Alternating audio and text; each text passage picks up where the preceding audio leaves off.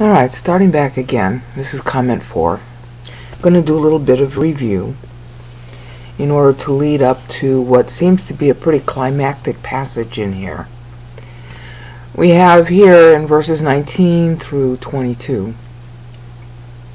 our first set of, as it were, historical trends for what would have been, well, for the church age and then the same text applies literally to people during the actual seven years of the tribulation.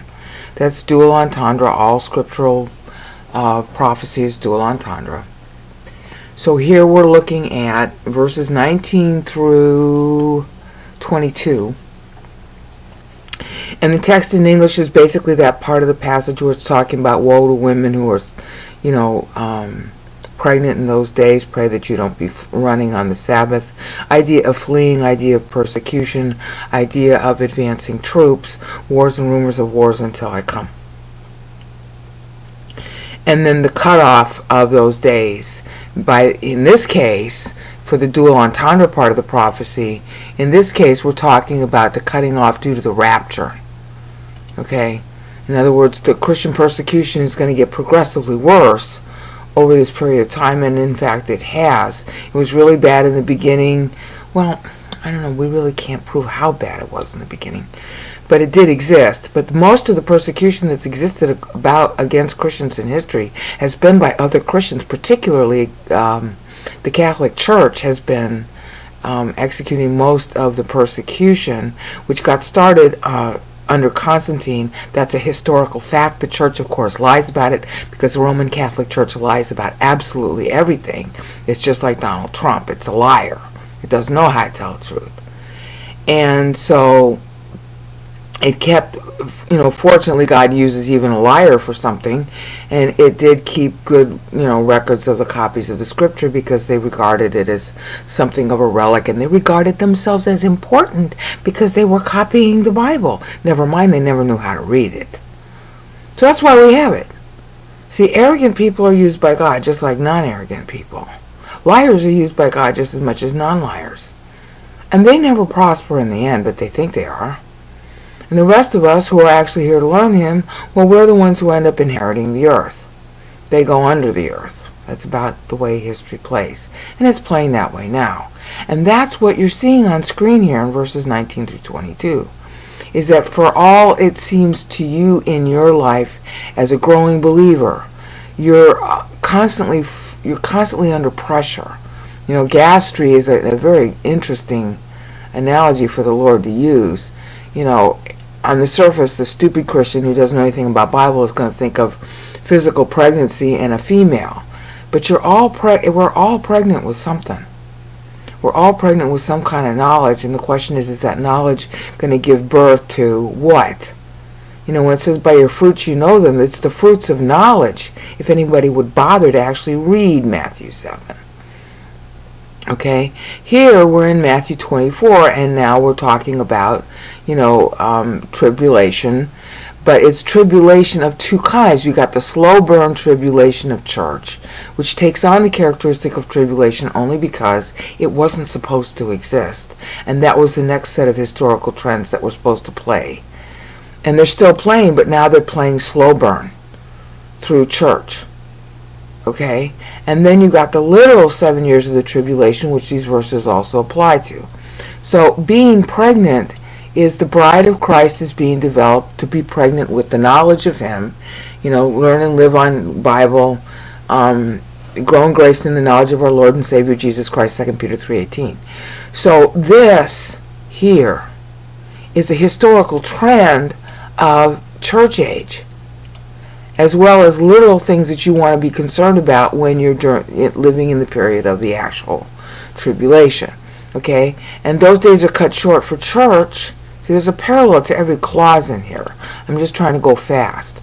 Unless those days are cut short for church, nobody in church would survive, but we get raptured.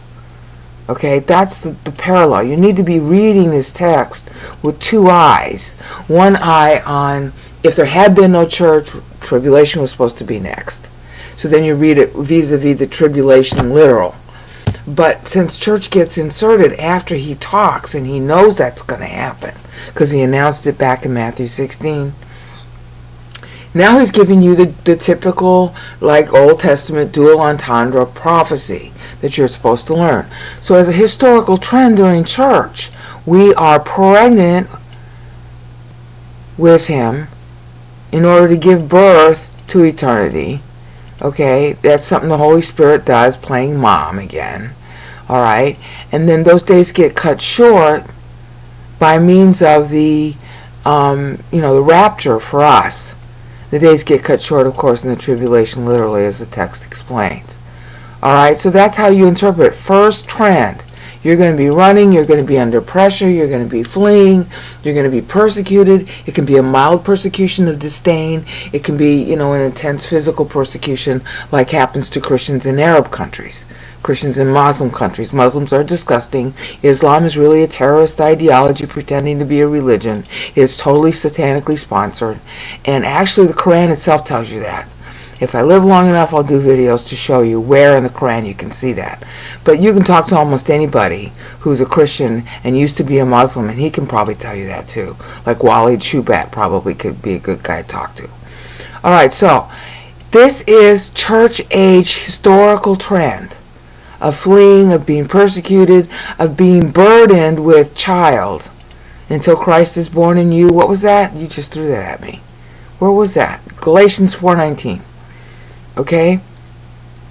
So that's the that's a characteristic of church age. This is a characteristic of church age as well as literally true for the tribulation when it happens. That's why it's 119. That's why it's 7 short of 126. 126 stands for temple down. I did the Isaiah 53 video showing you that. It's two candlesticks. Okay? He's taking the 7 out because church ends before the tribulation starts. And the text is about what happens when the tribulation starts. And so the people alive then will be, uh, somehow they're going to know this meter. Maybe that's why I know it now. To prepare for them. You know, I often wonder why me, why a female, but God's got a sense of humor. So maybe that's part of it. Okay, 119 is 126 minus 7. That's that's just math.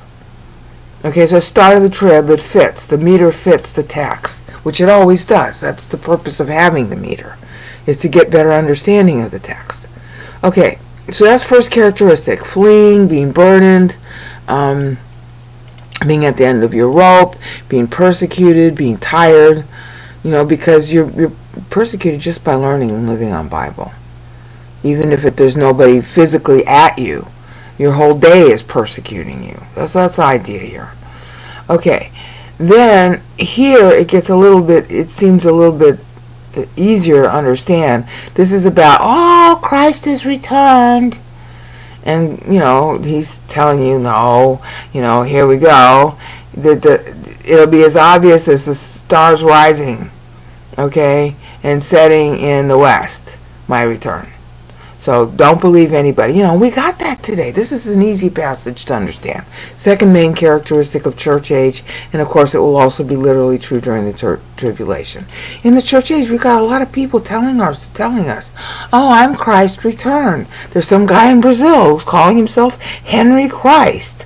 There's some lady on YouTube calling herself the Maitreya as if Christ can be male or female because so many females are so, uh, what do you want to call it, insecure that they can't stand it that somebody might be called son of God, so they have to change it into daughter of God. Hello?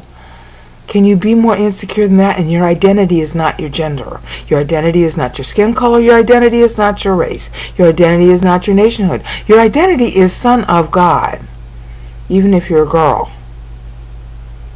He made you directly at birth. The real you is your soul, not anything about your ethnicity, your body, your gender, your culture, or anything else about you on the outside.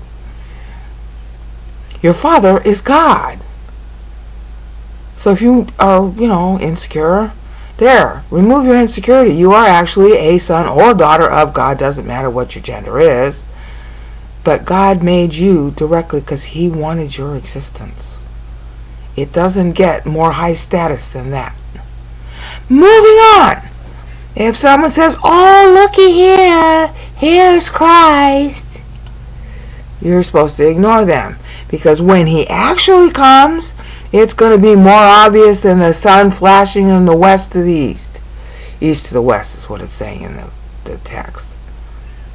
Alright, so one of the second characteristics about this period, which has got a 168, which is 284's back-to-back eh, decreased syllables like in Moses, because he's playing on Moses. We get that start here. See, since the beginning. That's where our Akris is right here. Okay. The second characteristic is all Christ is returned, or it's the Maitreya, or we're all Christ, or something else that's just, you know, anything but the Bible. So he's saying, don't listen to that. Just ignore it. See, they're all liars. Okay? Now, that's characterized with 284s, which means it's a bookend. In other words, throughout the period of the church age. This isn't necessarily throughout the period of the church age. This is sporadic. That's why it's 119. Okay? See, 119 has is a is a shoot off of 126, which is in Isaiah, which was a specific period of time, 126 years from when Isaiah wrote. So it wasn't going to happen forever. It wasn't going to happen throughout. It was just going to happen for a certain segment of time. So for certain segments of time, you will be under pressure like this. Okay? Throughout, however, the whole of church age, just as throughout the whole of the tribulation, it's it's a it's going to be a satanic tactic to introduce false Christs. Okay, and we've seen, and it's it's been happening now. It's been happening for a long time.